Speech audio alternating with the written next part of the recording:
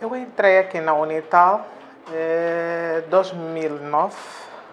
Há 10 anos atrás, eu diria que eu não saberia dizer nada do que eu digo hoje, porque hoje eu aprendi muito, tenho muito conhecimento pelos anos que eu estou de planeamento e otimização. Foram formações internas, experiência, ter contato com o trabalho, é, contato com os colegas, troca de experiência, dar-te responsabilidade, por exemplo, digo Viana toda e está na minha mão para controlar, ver os sites, ver em que toda aquela população que é residente naquela zona sentir-se que consigo usar o meu telefone, consigo falar, consigo receber chamada, consigo, por exemplo, entrar então, na internet, falar, trocar mensagens, vídeos.